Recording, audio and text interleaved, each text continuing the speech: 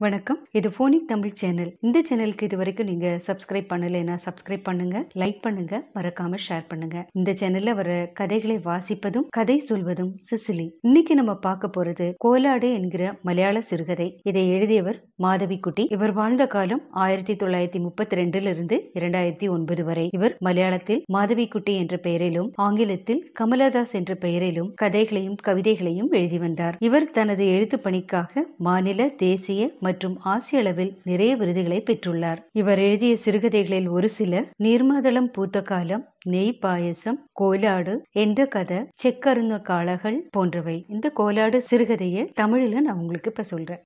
நாற்பத்தி மூணு வயசான அவளை பார்த்து எப்போவுமே தமாஷா பேசக்கூடிய மூத்த மகன் சொல்றா அம்மா உன்னை பார்த்தா எனக்கு கோலாடு தான் ஞாபகம் வருதுன்னு. வீட்டில் இருக்கிற எல்லாரும் சிரிக்கிறாங்க.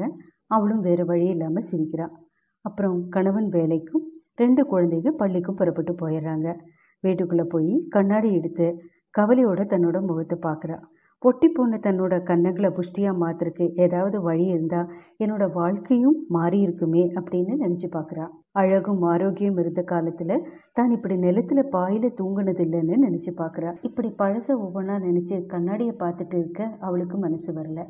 சமையலறையில் பால் கொதிக்க ஆரம்பிச்சிருந்தது.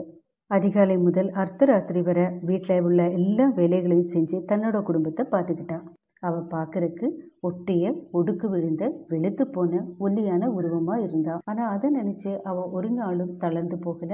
அதுக்காக அவ மனசு தகர்ந்தும் போகல. எப்பவும் போல வேலைகளை செஞ்சுட்டு வந்தா. அதனால அவ சமையலறையிலிருந்து குளியலறைக்கும் குளியலறையிலிருந்து சமையலறைக்கும் எப்பவும் தண்ணியை கொண்டு வந்து பாத்திரங்களை நினைச்சு வைக்கிறத பார்த்துட்டு இருக்கிற கணவனோ அல்லது அவளோட நல்லா வளர்ந்த ரெண்டு பசங்களோ அவளுக்கு உதவ முன்வரதில்லை கேரளாவில் பெரும்பாலான வீடுகளில் கிணறுகள் இருக்கும். கிணற்றிலிருந்து தான் தண்ணியை எடுத்து கொண்டு வந்து வீட்டில் உள்ள பாத்திரங்களை நிறச்சி வைக்கணும். அதைத்தான் இங்கே மறைமுகமாக சொல்லியிருக்காங்க.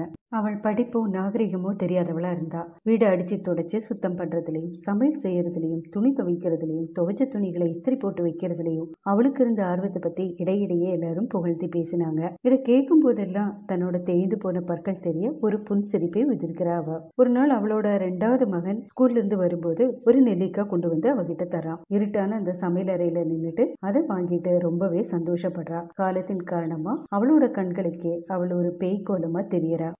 ஸ்கூலில் நடக்கிற நாடகத்தை பற்றி அம்மாக்கிட்ட அவன் சொல்கிறான் அதை கேட்டதும் அவ நானும் வரேன்னு சொல்றா. மகன் உடனே வேண்டான்னு சொல்கிறான் உடனே அவ நான் பட்டு சாரி கட்டிட்டு வரேன் என்னோட கல்யாண பட்டு சாரி அப்படின்னு சொல்றா. அப்பவும் நீ வர வேண்டாம். எனக்கு பிடிக்கல.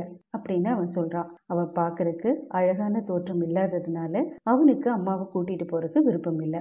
அவளோட மெலிந்த கால்கள் ரெண்டு அறைகள் கொண்ட அந்த சின்ன வீட்டுல ஓயாம ஓடிட்டே இருந்தது. கடைசியா அந்த கால்கள் எனும் இயந்திரமும் வேலை செய்ய முடியாம நின்றுச்சு. அவளுக்கு காய்ச்சல் தொடங்கியது. அதோட வயிற்று வலியும் வர ஆரம்பிச்சது இஞ்சி சாறு குருமிளகு ரசம் எல்லாம் வச்சு குடிச்சு பார்த்தா ஆனா எதுவுமே அவளை சுகப்படுத்தல. பத்தாவது நாள் டாக்டர் அவளோட கணவன் கிட்ட இவங்கள உடனே ஆஸ்பத்திரிக்கு கொண்டு போனோம். இது மஞ்சக்காமாலையோட சீரியஸ் கேஸ்ன்னு சொல்றாரு. இதை கேட்ட பாட புஸ்தகங்களை எடுத்து படிக்க உட்கார்ந்திருந்த அந்த ரெண்டு குழந்தைகளும் நடுங்குறாங்க.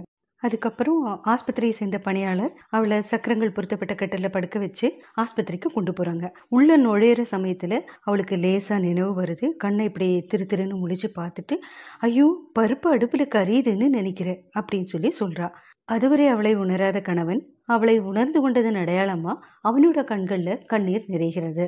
இந்த சிறுகதை வெளிவந்த வருடம் ஆயிரத்தி தொள்ளாயிரத்தி அறுபத்தி ஒன்பது. ஐம்பத்தோரு வருடங்களுக்கு முன்னால் இந்த சிறுகதை எழுதப்பட்டிருந்தாலும் இந்த கதையில் வரக்கூடிய அம்மா கதாபாத்திரம் இன்றும் நம்மில் வாழ்ந்து கொண்டிருக்கிறார். தன்னுடைய கனவுகளை தன்னுடைய ஆசைகளை தன்னுடைய ஆரோக்கியத்தை தொலைத்து கொண்டு வாழ்ந்து கொண்டிருக்கிறார். நம்மால் கண்டுகொள்ளப்படாமல் வாழ்ந்து கொண்டிருக்கிறார் என்பது நிதர்சனமான உண்மை. நன்றி வணக்கம்.